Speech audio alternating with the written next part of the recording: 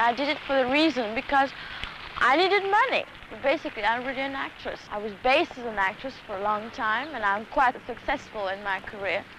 Didn't mean no harm, and uh, I'm still an actress and a good one.